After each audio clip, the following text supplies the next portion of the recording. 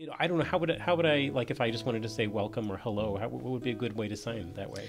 You would just say hello. Oh, hello, just like yeah. that. So Okay. goodbye is that, and hello is sort of your your palm sort of outstretched. Okay. Yeah. And is there like a polite way, you know, in Arabic you were saying, you know, tasharafna or something like that? Is there a nice way to say, you know, nice to meet you or Oh yeah, you know, absolutely. This is nice, nice, okay. nice, and then meet.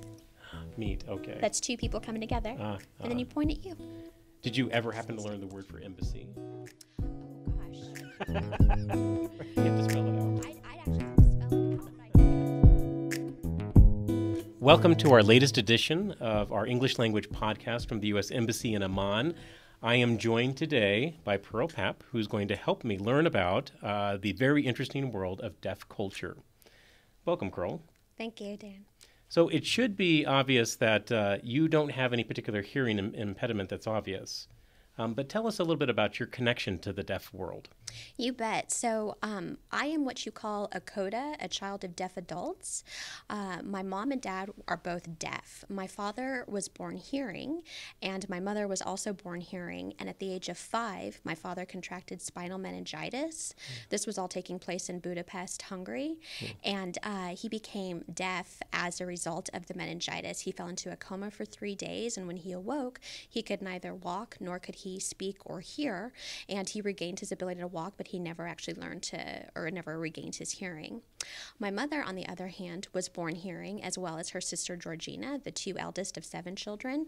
And uh, both girls were age three and two, respectively, when they both contracted a fever. We think it was scarlet fever, but the history is a little fuzzy in the family. Uh, both girls became very ill over a period of a few weeks. They lost their hearing and they never regained it as the fever subsided. And so, out of the seven kids on my mom's side of the family, the two eldest girls are deaf, and the other five siblings were all born hearing and are still hearing. So, my parents met and uh, at deaf school or at a class for deaf kids, and they had my sister and myself. My sister's four years older, and both Rosemary and I can hear completely fluently. If I'm not mistaken, I think hereditarily deafness or deafness um, passes hereditarily only about 10% of cases. So 90% of folks who are deaf, from what I understand from research, is through some sort of an illness. So, as a child of deaf parents, you're part of a kind of a, a very exclusive club. Uh, as I understand it, includes some very famous people um, who are or kids who have parents that are deaf. At least one one of their parents. I, I think it includes people like um, Alexander Graham Bell, Right. um, and then uh, some of our Hollywood stars, uh, Lon Chaney, and uh, and then Louise Fletcher, who won an Academy Award. So, what were some of the challenges, or I guess um, more interesting experiences about Uh, being a hearing child in, in, a, in a deaf world? Well, I think I'll talk a little bit first about the the sort of challenges, but then ultimately it all sort of comes back to some positivity because I really like love the way I grew up and don't know any other way to to have, have grow, having grown up. So, a couple of the challenges were um, I remember on the first day of school every year, my father would take me to the principal's office or to the secretary's office and announce that um, if I was sick or needed a day off, I was allowed to call myself in. And so I remember being five years old, six years old, saying hi, and I would be signing for my dad and telling all the teachers and administrators I get to call myself in. So this was a bit of a challenge as a young child, but of course in high school you can only imagine how I took advantage of that. uh, so that was one story, and then. Um, and then another thing that a lot of children of deaf adults go through is we become the interpreters and the translators on behalf of our parents to the rest of the world. So what this does is this makes up makes us grow up very quickly. An example, I remember, and I grew up in the 80s back home in Denver, Colorado. So I remember I was the one who was calling the bank. I was the one who was calling the phone company. And I was five, six years old when I was making these types of phone calls. Um, my father, he got uh, remarried, he got divorced when I was 14 to my second, um, his second wife. And we didn't have the money to pay for an interpreter. So I got pulled out of school out of the age of 14 for the period of a month to go be his translator with the lawyers and in court talking about alimony, talking about division of assets, uh, because I could fluently sign and I was free, basically. And so that was one of those sort of challenges. But the way it sort of um, translated into my adulthood is that my sister and I, both having been the voices of our parents, had absolutely no issues when it came time to go off to college and open up our own bank accounts and sign our own uh, rental agreements with landlords, uh, to do our own paperwork, to get financial aid, those types of things, because we were so used to having been our parents' sort of personal assistants and these kind of things that uh, we just became very, very adept at it. And again, this was all taking place in the 80s and the 90s, uh, before pagers, before cell phones. My father communicated with just basic handwritten letters, and the fax machine was actually a huge sort of thing that we had in our household that helped him communicate. Now I think it's a completely different ballgame with the internet, with with cell phones, with computers. I grew up before all of that. So that's one of the challenges.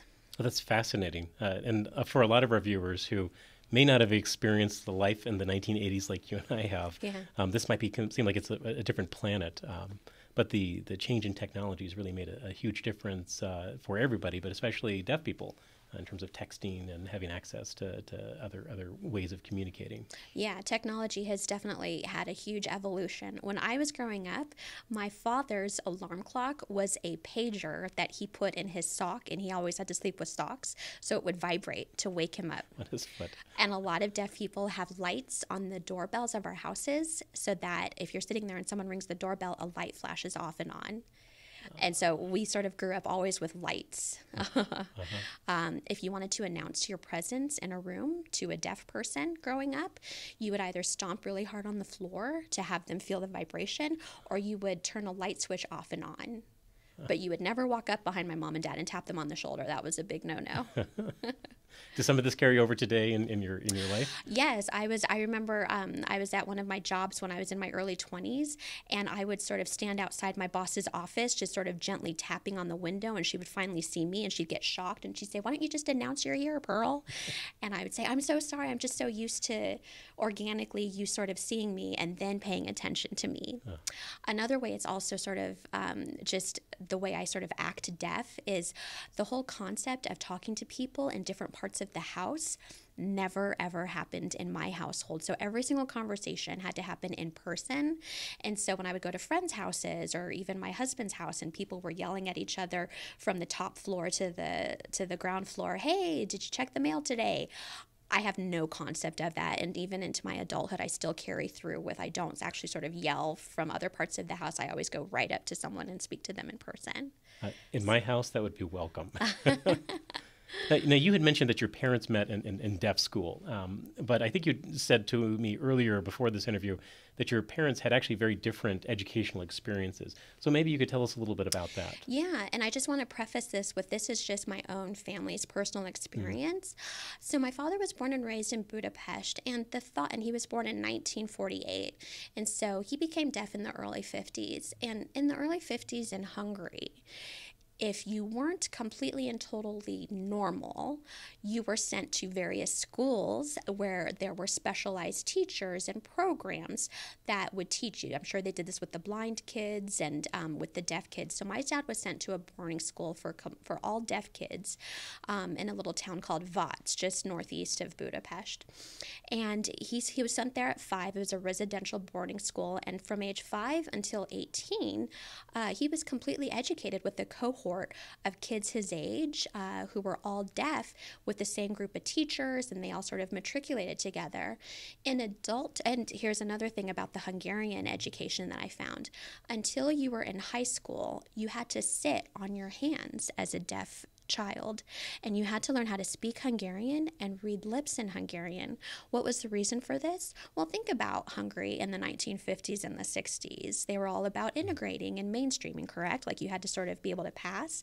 And so the way my father was taught was he had to pretend like he was hearing in order to do what? In order to get a job and contribute mm-hmm. to society uh, and then to not be different. And so my father and his friends after school, this is the story that he and his friends would tell me, is they would sign Sign and Hungarian Sign Language, uh, but in the classrooms, they were only able to lip read and speak in Hungarian. Uh, my mother, and I'll come back to that, my mother, on the other hand, was born in Mexico and then came to America right about the time she got the um, fever. And so from the age of three on, she was educated in San Jose, California. Her family's Mexican and they came as um, migrant workers. Mm. Uh, so my mother was placed into a completely hearing school with a deaf unit um, San Jose Unified High School. And so that that classroom had maybe five or six people who were deaf, maybe they had Down syndrome, other sort of learning differences, with maybe one or two teachers. And so my mother in her adulthood and the cohorts, her friends and folks from San Jose that I've met, um, they sort of went right on Social Security for disabled individuals at the age of 18. And maybe they got some sort of a job here and there, but for the most part, they were sort of dependent upon public assistance my father and his friends from Hungary, on the other hand, uh, my father worked for 25 years at Coors Beer Brewing Factory in Denver, Colorado. Uh, he bought three acres of land, hired contractors, hired an architect, built his own 5,000 square foot home. Uh, his other friend Tibor, he uh, had his own furniture making company. And so I just found that the folks um, in my father's group of friends that grew up and were, were educated at the all um, deaf boarding school, in Budapest, I found them to be a lot more self sufficient, a lot more confident, and a lot more able to sort of easily navigate jobs and households and incomes. And this was as mig- as immigrants to America. So these are all these Hungarian. I have a whole group. My father has a whole group of Hungarian friends uh, that all went to America in like the late '60s and uh, they all did very very well for themselves. This is just my own personal mm-hmm. personal opinion. This was in the 50s and the 60s i can almost guarantee that things have changed mm-hmm. and improved drastically in terms of education and mainstreaming. Um, but uh, that's definitely the difference i see between the two of them.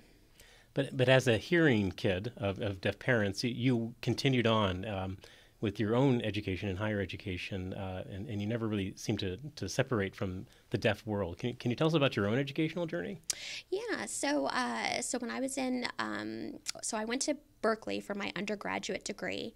The and, University of California at Berkeley. Right. Well, so my father, yeah, yeah, yeah, you, yeah, UC Berkeley. So my father, well, actually, I have a story to tell you about how I got to Denver.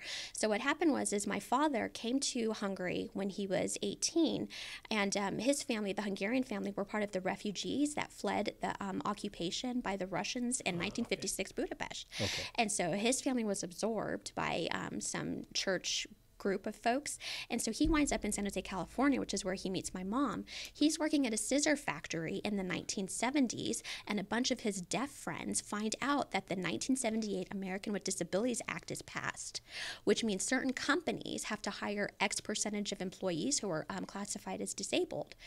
And so my father um, finds out that Coors Beer is hiring X amount of employees who are deaf to work where? To work in their factories. The reason being is if you go and work in these factory jobs as a hearing person, you'll ultimately lose your hearing. Mm-hmm. And so my father and a group of his friends got jobs at Coors, and um, they could use sign language as they were working in the beer plant and the bottle plant, uh, and and get on. So so I was born and raised in Colorado, but I always felt California was my home because I was went there for summers to visit my mom. My parents were were separated for most of my youth, and they got divorced. So I decided to go to UC Berkeley. And at UC Berkeley, we have um, a pretty big presence of Peace Corps recruitment.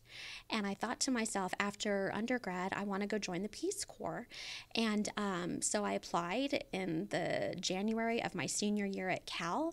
And when the recruiter asked me what I wanted to do, I said, Well, I speak sign language. Does Peace Corps have any programs that are established throughout the world where they work with deaf children? And it turns out at that time, this was in the year 2002, Kenya, Nairobi, uh, was the one country that had an established program. I think they were trying to establish something in Jamaica, but I didn't want to sort of be a trailblazer. I wanted to go right into a program that was established. And so I actually joined the Peace Corps in 2002, and I worked as a teacher to 11 kids in an all deaf unit um, of a school in uh, the southeast corner of the country. Now, after I did Peace Corps Kenya, I came back to America and thought, well, I worked in the finance industry for a couple years, but I thought, gosh, you know what? I want to go to graduate school and I want to do social work. Uh, and I thought, where could I go? Well, my uh, fiance at the time was going to SAIS, John Hopkins, and DuPont Circle in Washington, D.C. Mm-hmm. And I said, well, why don't I try for Gallaudet? So I decided to do my graduate program at Gallaudet, which is, I believe, is that time and even now is the only all deaf university in the United States of America. And that was a such an eye opening experience. Everyone on the campus speaks sign language. We're talking the security officers at the gate that let you in to everyone at the cafeteria, all the professors, all of the students. You could be in a classroom with a hearing professor and five hearing students. We're all signing to each other. It's deafness with the capital D. There is such a there's such a pro, there's such pride with Gallaudet and being deaf and owning that deafness. And you'll find that all the shops and all the restaurants around um, Gallaudet, which is on Florida Avenue Northeast, mm. they all speak sign language to a certain degree. Um, the landlords all know a little bit of sign language, so it's this little sort of haven of um, pro deafness within the within the country's capital. And uh, how I felt being at that particular university was so there's varying sort of echelons within the deaf community. And I, as a child of deaf adult, was sort of kind of at a separate level of this sort of echelon, and I'll explain to you to, it to you like this. You've got some folks who are deaf, and they're genetically deaf for generations and generations and generations. Mm-hmm. I had one girlfriend named Cookie who was born hearing but became deaf at the age of 13 because in her family, um, the deafness comes on at puberty. Ooh. And uh, and she would always say that it wasn't until she finally became deaf that she felt part of her family. And then you have a lot of deaf folks who only sort of want their children to marry other people from the deaf community. And we're talking hereditary deafness. And so for me, I, I would go to school and I had these friendships and I could speak the sign language, but I was sort of always one foot in the hearing world and then one foot in the deaf world due to my experience with my parents. So I sort of toggled both. And I kind of, but I definitely felt more more comfortable um, with the deaf folks. I'll tell you another story. When I was at uh, when I was at Berkeley, you know how the first couple weeks of uh, the fall semester, all of the different um, affinity groups are tabling on campus, and you can decide which one you're going to go join. I remember I saw some some some groups. I saw like the Hispanic group, and I'm half Mexican. I thought, well, gosh, let me go check out that table, and I quickly saw the Disabled Students Union group, and I thought, gosh, let me go over there. Maybe there's some deaf students I can meet. And sure enough, I got to meet a couple of international um, some I got got to meet one girl from China who um, who was deaf, and she and I became really good friends. So I actually joined the Disabled Student Union, and my connection was the fact that my mom and dad were deaf, and we had kids with cerebral palsy. Uh, you know, people in wheelchairs, quadriplegia, that type of thing, blindness, the whole nine. And all of us would go out a couple times a month and go to a dinner and just have fun and just talk about our experiences of how to navigate the campus. I, love that story uh, because you know there are a lot of international students uh, that go to the U.S., uh, especially coming here from Jordan, and there's this concern like, well, will I find a home? Will I find a community of friends if I go to any American university? And, and I think it's just true with almost every uh, American college, no matter how small or how how big the university is, that there's a there's a home, there's a place, and there's a, a kind of an open and welcoming atmosphere in a lot of places. Uh, but a place like Gallaudet is, is very interesting because it's uh, you know it's it's really not it's not completely unique in the world, but it's it's one of the very few places where you, as you said, there's actually nothing but a deaf community, and, and that's the predominant community, um, which is fascinating. Um, now I have to ask this question uh, I, because.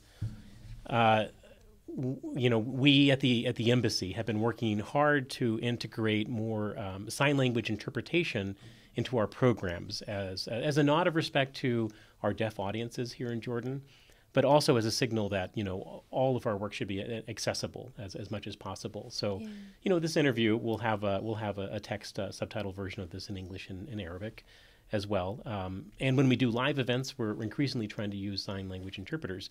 And so I learned uh, something um, that uh, uh, a, a, few weeks ago we we put together a program and we used uh, a sign language interpreter who spoke Levantine Arabic sign language, wow. and I had no idea that there. So, so I guess uh, you know, for somebody like me who d- doesn't know very much about sign language, Um, so m- maybe you could talk us through the basics of, of, of what it is, and you know, is there a difference between lip reading and sign language and body language, and and are there different kinds of sign language um, in, in the world?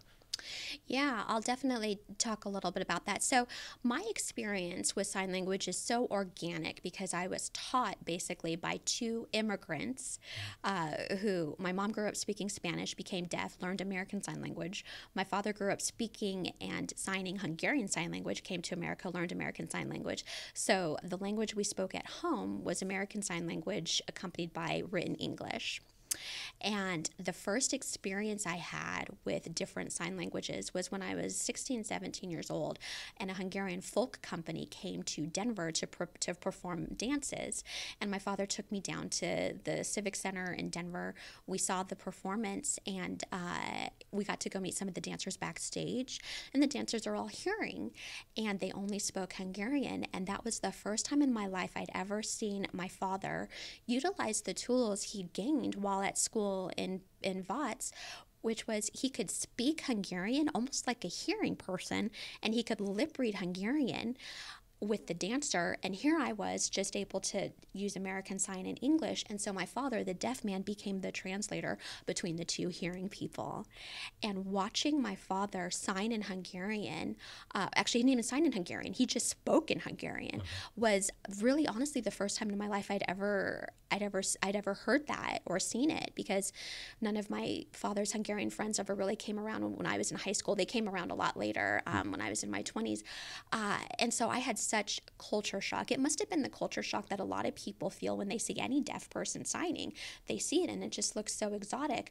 I grew up my entire life, 16 years with this man, speaking with him. He taught me my first word um, in American Sign, and to watch him speaking in Hungarian was a complete and total um, culture shock. And then later on, when I would see him signing with his Hungarian friends, uh, my sister and I would just sit there completely dumbfounded and perplexed. There's like no similarities between the two languages at all.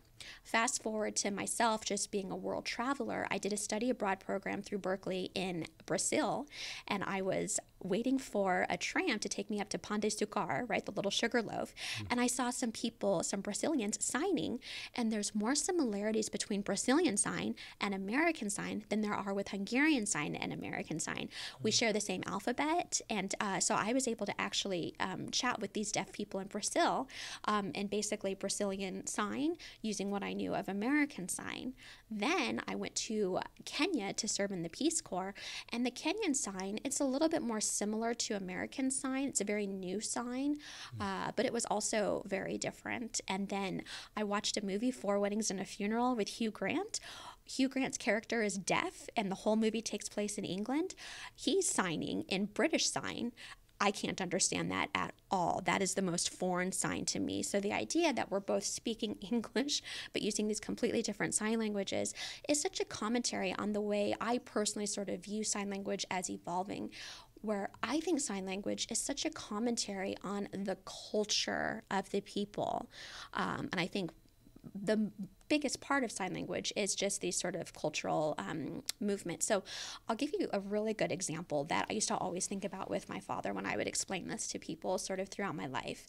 If you think about America and you think about the expansion towards the Pacific from the Atlantic and Manifest Destiny, mm. you think of the trains and the laying of the tracks as being the reason why America sort of went from coast to coast.